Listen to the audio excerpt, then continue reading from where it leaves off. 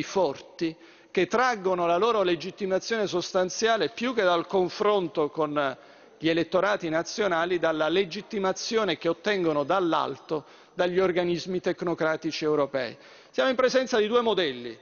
I partiti hanno senso, io credo, soltanto se noi difendiamo e rilanciamo il modello della democrazia costituzionale. Per quello che ci riguarda come sinistra italiana e per queste ragioni che consideriamo sostanzialmente inutile e irrilevante il testo attuale e invece siamo molto impegnati nel confronto della, dei prossimi mesi che per noi rappresenta l'occasione non soltanto per difendere la vitalità della Costituzione, ma anche per rilanciare in, tempi, in termini moderni una funzione dei partiti politici. Grazie.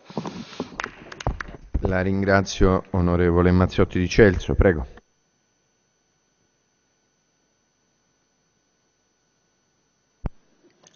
Grazie Presidente. Il dibattito che si è svolto fin dall'inizio su questo provvedimento di legge ha avuto al centro un'interpretazione dell'articolo 49 totalmente opposta. Da una parte chi come il Movimento 5 Stelle ci ha detto che l'articolo 49 è già attuato e non necessita di attuazione e anzi quasi vieterebbe normative di attuazione e chi invece ci ha detto, e penso a sinistra italiana, che l'articolo 49 è totalmente inattuato o comunque necessita di un'attuazione perché possa essere veramente realizzato il principio del metodo democratico nel nostro Paese. Sono due posizioni opposte, entrambe in realtà lontane da quelle pochissime pronunce che sono state rese dalla Corte Costituzionale che indirettamente ha parlato dell'articolo 49 dicendo chiaramente che non impone un'introduzione per legge di, del, del metodo democratico e delle regole sul metodo democratico, ma che dall'altro lato non ha mai detto che un intervento del legislatore in questo campo sia vietato.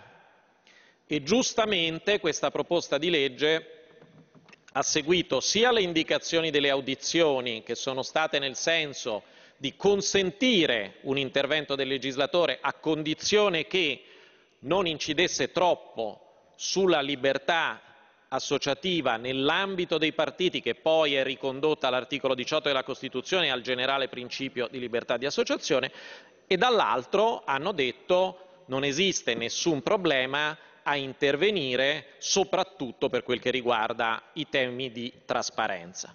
Questo è stato diciamo, il portato sostanziale delle audizioni, ovviamente con qualche posizione differente, ma questo è quello che è stato il risultato che tutti abbiamo sentito.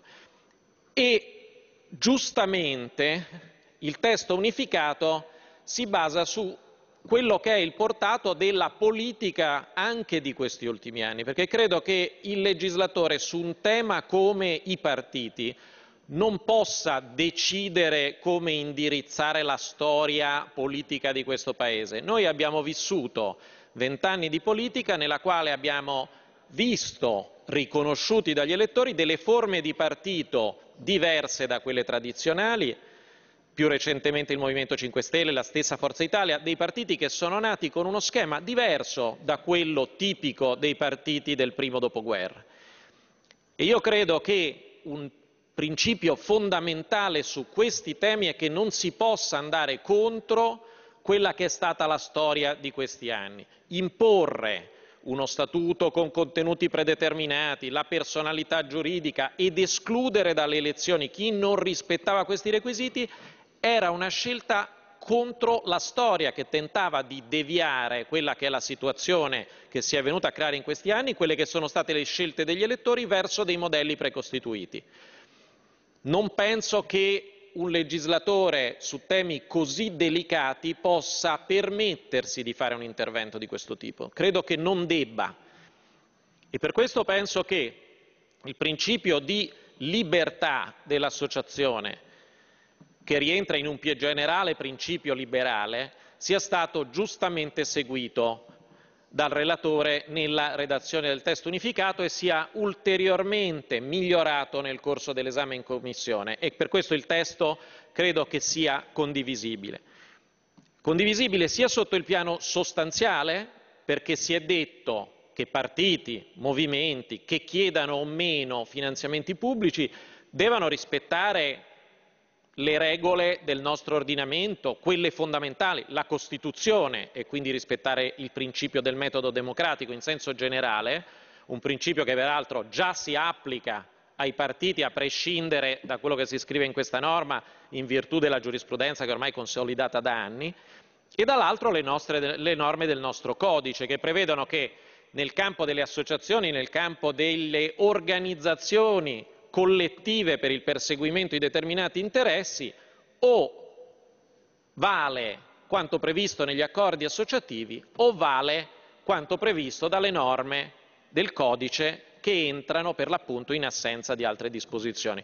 Noi abbiamo, grazie a un emendamento proposto da Scelta Civica, esplicitato questo principio, che è un principio fondamentale perché sgombra il campo da un rischio e da un certo tipo di contestazione, quello che si cerchi di dire ma esistono delle regole, non si sa bene scritte dove, che si applicano a questo movimento e quindi non si applicano i principi generali dell'ordinamento. Si è detto non c'è bisogno perché è già così. La realtà è che abbiamo visto in questi giorni, anche nelle vicende eh, che hanno occupato i giornali del Movimento 5 Stelle, una disputa precisamente su questo tema, e cioè se esistono delle regole su un'espulsione oppure no. Bene, se quelle regole non esistono, in qualsiasi paese normale esistono delle norme dell'ordinamento che si applicano e che dicono chi decide, nel nostro l'Assemblea degli iscritti.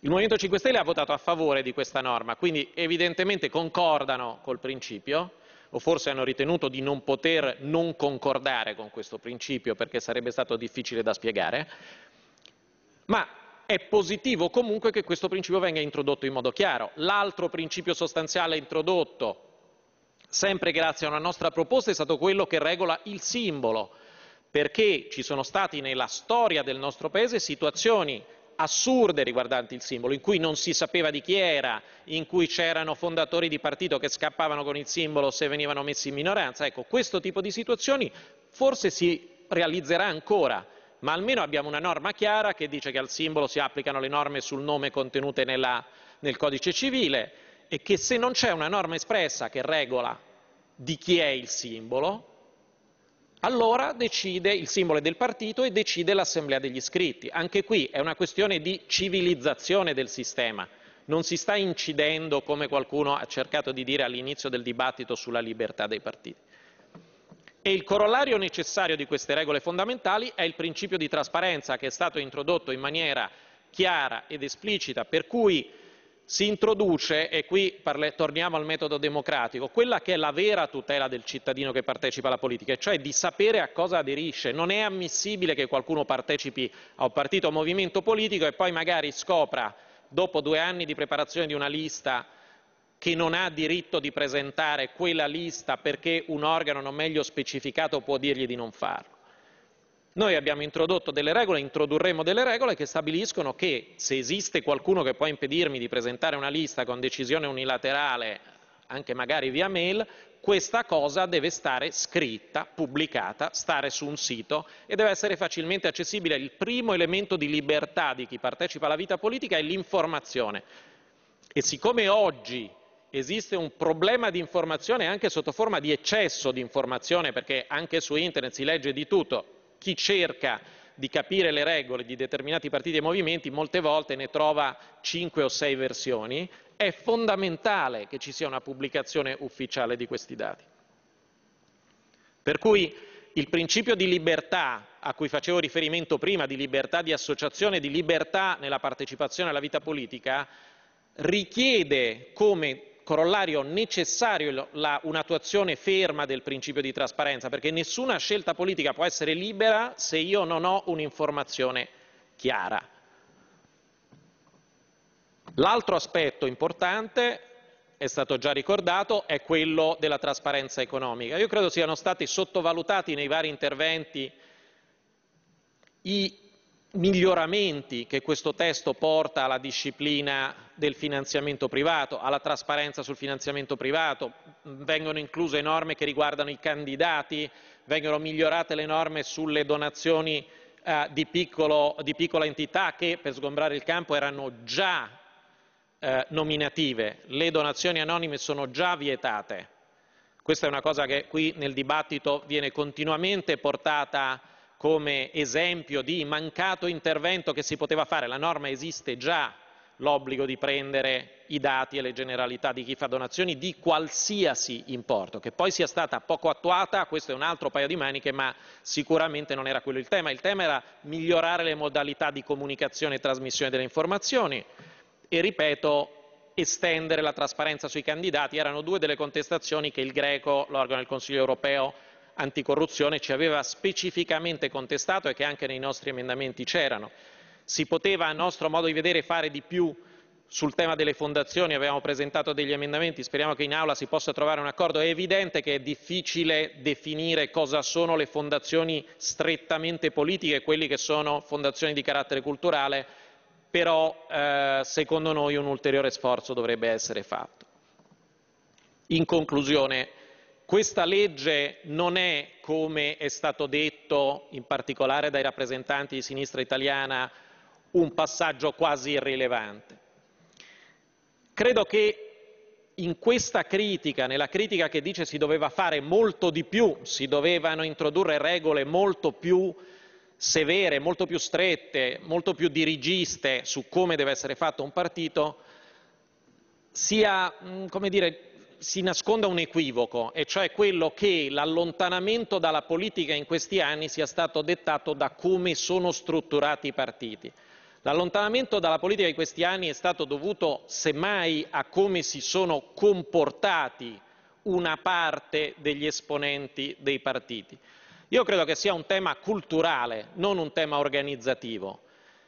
Se i nostri rappresentanti politici, se noi inizieremo a essere più vicini ai cittadini, a tornare a fare politica che non è la politica sul territorio da incontro semplicemente per fare quattro chiacchiere, ma occuparci dei temi, a stare magari un po' meno su Facebook e un po' più in giro a studiarci le questioni, se ci saranno riunioni più partecipate nel senso di eh, mirate a temi concreti, magari fatte non soltanto per fare un comunicato cinque minuti dopo, che peraltro nessuno dei cittadini che si allontanano dalla politica legge, Ecco, questi sono i comportamenti che potranno forse portare e potrebbero portare a un avvicinamento della politica. Pensare che se si scrive un bello statuto, che se si fanno norme più precise, che se si impone la personalità giuridica, questo contribuisca a riportare i partiti, i cittadini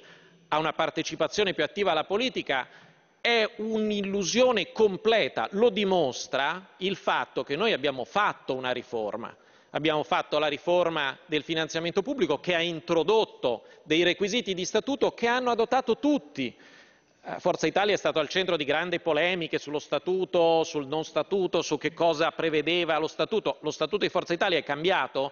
Non credo che sia cambiato l'atteggiamento dei cittadini da prima a dopo perché ha depositato uno statuto che rispetta le regole del decreto Letta. Ho preso Forza Italia come esempio perché era stato oggetto di polemica, ma voglio dire non credo che nessuno dei cittadini sappia neanche cosa è stato scritto negli statuti di nuovo a seguito del decreto Letta perché la funzione di quella legge era di regolamentare il finanziamento pubblico e giustamente si introducevano quelle regole, ma non hanno riavvicinato i cittadini. I cittadini si possono riavvicinare alla partecipazione democratica con una diversa qualità della selezione dei candidati, con un diverso comportamento degli eletti, con un'attività di maggiore coinvolgimento delle strutture territoriali di partito, magari anche con comportamenti eticamente meno reprensibili.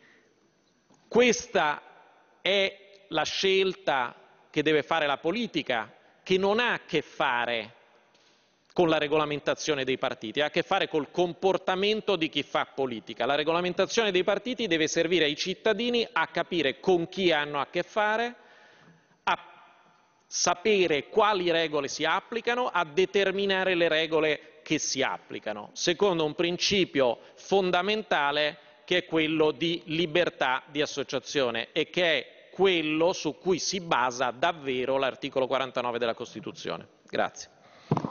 La ringrazio, onorevole Sanna. Io non so, come, dice, come dicono i colleghi di sinistra italiana, se esiste ancora una funzione promozionale del diritto che stiamo creando a favore dei partiti con questa legge. Io penso di no, anzi. Non penso che con una legge si risollevi, diciamo così, la credibilità del sistema politico.